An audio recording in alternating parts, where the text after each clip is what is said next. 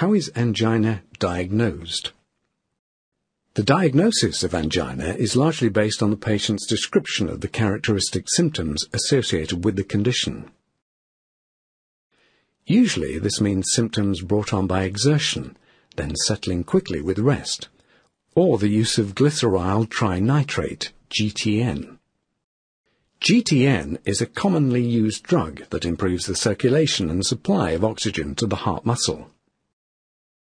The diagnosis is usually confirmed by performing tests such as blood tests to check the level of fats, called lipids, in the blood, a heart tracing, called an electrocardiogram, usually abbreviated to ECG, an ECG while walking on a treadmill, usually called an exercise ECG or exercise test.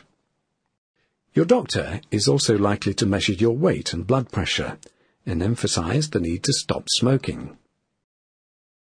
Even if you are suffering from angina, these tests could prove normal and further tests may be required, such as an echocardiogram, an easily performed scan of the heart, myocardial perfusion scan, or a coronary angiogram, an X-ray dye test performed under local anesthetic to look at the heart arteries in more detail.